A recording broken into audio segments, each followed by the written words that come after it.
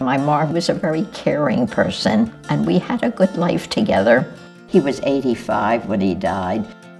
I finally realized that nothing more could be done for him.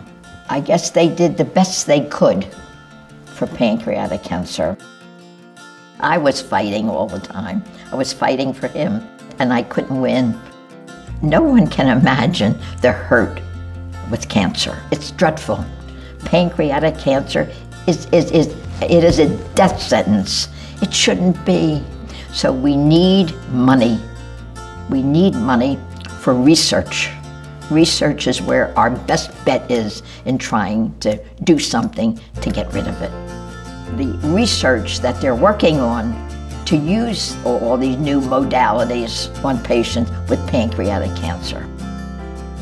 The researchers at Fox Chase, they have stolen my heart.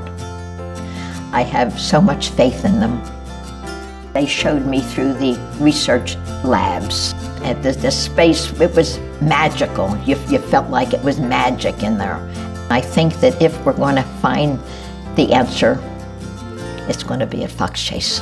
And I'm so fortunate to be able to be a part of it.